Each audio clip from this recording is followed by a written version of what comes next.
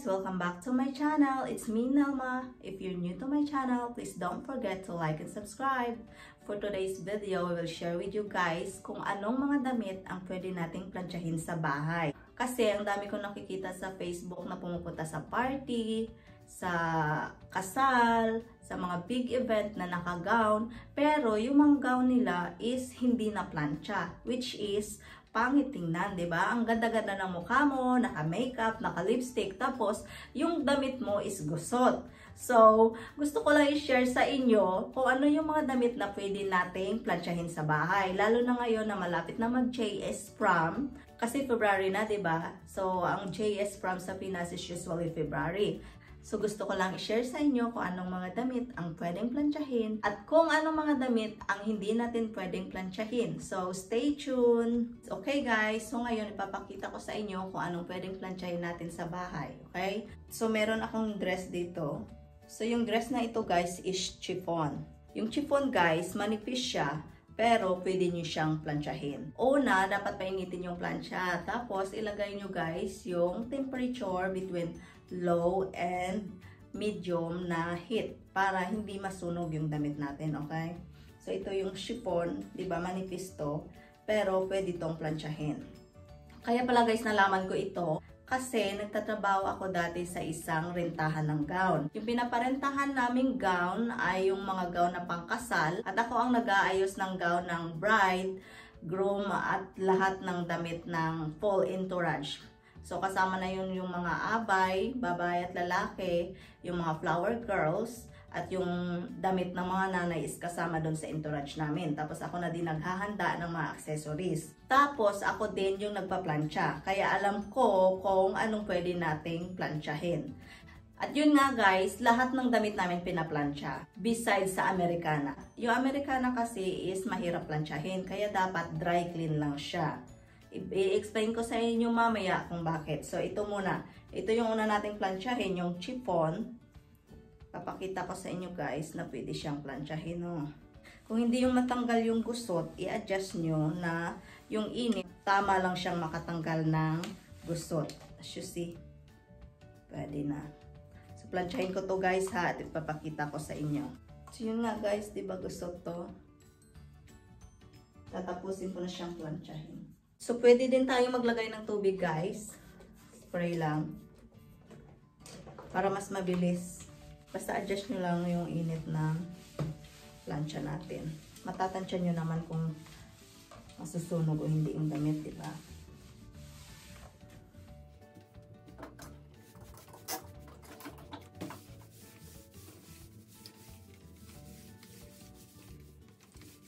May, may light yan ha. Baka sabihin nyo walang ilaw.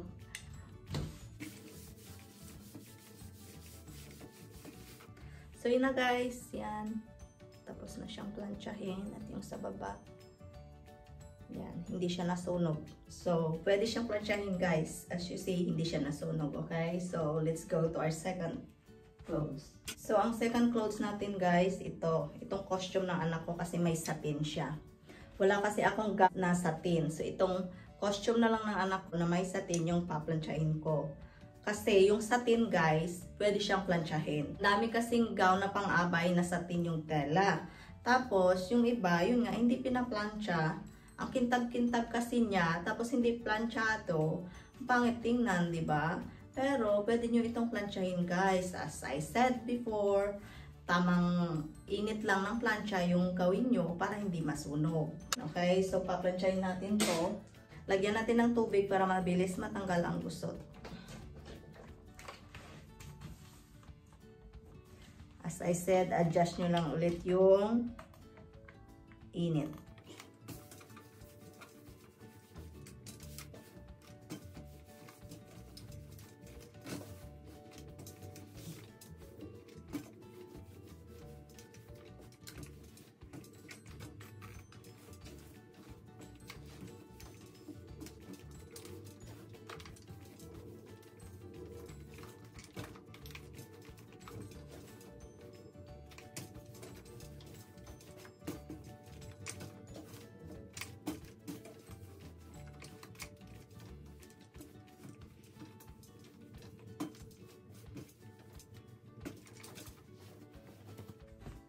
So, yan na guys.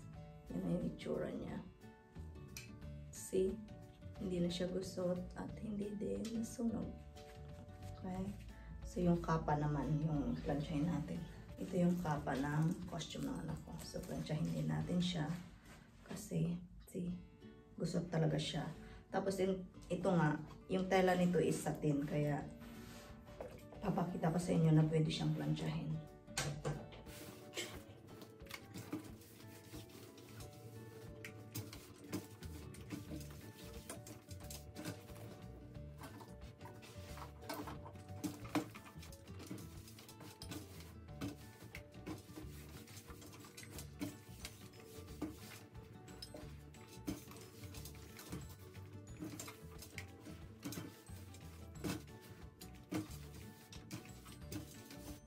Ito na guys, tapos na. See, wala na siyang gusot at hindi siya nasunog, ba?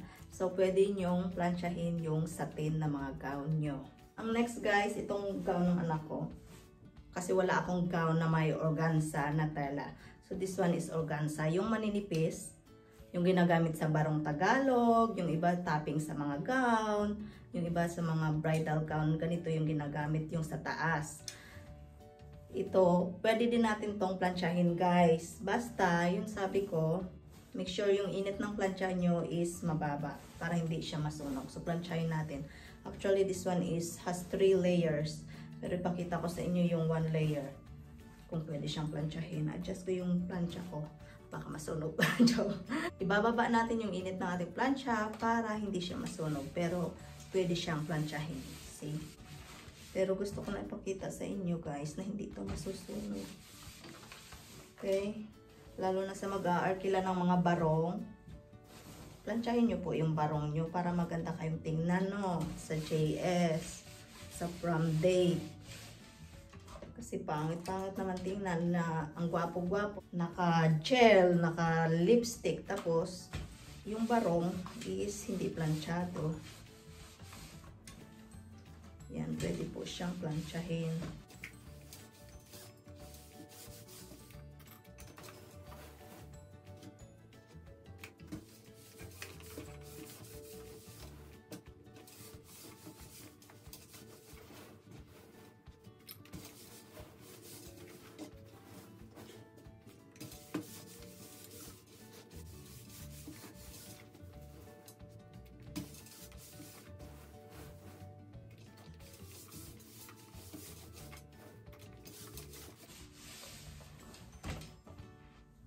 See? Mm, tingnan nyo guys. Oh. Oh, di ba? Gumanda na siya. Tingnan mo yung isa, gusot na gusot pa rin. Pero nasa loob kasi siya. So, pero yun nga guys, pwede itong planchahin. Basta tamang init lang yung ng plancha, yung gamitin natin. So, ito na nga guys, tapos na tayo dito sa organza. So, kung mag-run kayo ng gown na may organza, planchahin nyo bago suotin, okay? So ngayon guys, papakita ko naman sa inyo yung mga damit na hindi natin pwedeng planchahin or dapat nating i-steam. Usually sa ibang bansa, yung mga uh, ah, OFW, tulad ko, nag-OFW din ako dati, yung amo ko may steamer kasi yung steamer yung ginagamit ko sa mga damit na hindi pwedeng planchahin. Pero yun nga, nung nag-work ako dati sa rintanang gown, yun yung ginagawa namin at yun yung mga tela na pwede namin planchahin. So ito naman, ipapakita ko sa inyo kung ano yung mga damit na hindi pwedeng planchahin at kung bakit. So, una itong dress. Papakita ko sa iyo. Dress ko to. Pero, ewan ko, bira ko naman ginagamit to. Pero, ipapakita ko sa inyo kung bakit. Itong tela kasi niya guys, makapal. Tapos stretchable. Kaya hindi ito pwedeng planchahin guys. Kasi pag paplansyahin mo siya, magbabakat siya. Magbabakat yung plancha natin. Lalo na dito sa may seam. Dito sa mga pinagtahian. Sa mga dugtong tapos dito, like this one sa belt niya. May belt, ba diba? So, yung pinagdugtungan nito is makapal. Kung paplansyahin mo dito ngayon yon babakat ito guys. Magiging makintab siya na parang may bakat. So, ipapakita ko sa inyo ha. Dito ako sa likod magpaplansya. So, ganyan siya, ba diba? Tapos, pag paplansyahin mo siya, oh, wala siyang bakat, ba diba? Wala siyang bakat dyan kasi hindi ko pa siya naplantsa. Pero pag paplantsahin mo na, papakita ko lang sa inyo ng konti.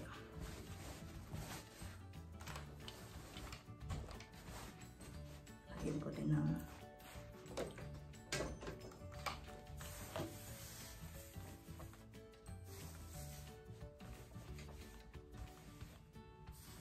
dito sa kabilang side ko lang plantsahin guys.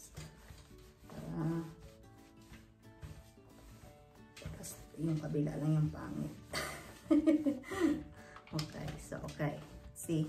Okay tapos ko na siyang planchahin at ito yung kabila hindi ko pinlansya. Ito yung pinlansya ko yung right side. See look. Makikita nyo ang kintab niya. See? That is iron mark here. Ito yung iron mark. Kaya hindi natin siya pwedeng planchahin kasi magmamark yung plancha dito lalo na sa mga seam niya.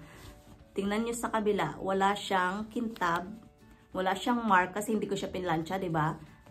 Kaya yan, hindi pwedeng planchahin kasi magkaka-iron mark. Same thing ng mga Amerikana guys. Yung mga suit, hindi natin pwedeng planchahin kasi magkakaganito. Kung gusto niyo magplansyahin yung ganitong tela, pwede niyo siyang magplansyahin pero baliktad. Okay? try kong planchahin yung kabila nito. Ito yung gusot na part. Ito yung hindi na plancha. So, planchahin ko dito.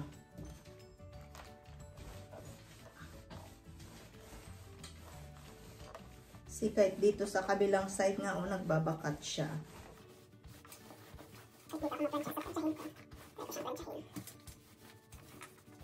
Ito. See, nandyan pa rin yung bakat niya, di ba? Ito yung pilansya ko sa kabilang side dito, sa left. Pwede mo siyang planchahin sa left. So, ito, magbabakat yung iron. Pag planchahin mo sa kabila, ini-explain ko lang to sa inyo kung sa bahay nyo gagawin, ito yung dapat nyong gawin sa mga ganitong klaseng tela or damit. So, ito din guys, yung suit or Americana, hindi din siya pwedeng planchahin ng regular iron. Kaya nga instruction sa mga suit is dry clean. Kasi may special machine silang ginagamit para mag-iron nito. Kasi, kung paplansyahin mo ito guys, tulad din ito mangyayari dun sa isang damit na pinakita ko. Papakita ko sa inyo yung sample ha. Dito ako magpaplansya sa loob. Dito. Dito ako magpaplansya guys. Ito. As you see, may ano to, may, may, may seam, di ba? I mean, may dugtong. So, kung paplansyahin mo ito, babakat siya. Kaya, try natin kasi matatabo na naman siya. Okay lang. At sa akin naman to. So, papakita ko sa inyo. So, ito yung itatry natin guys, yung sa loob na part para kahit na magbakat, okay lang. So.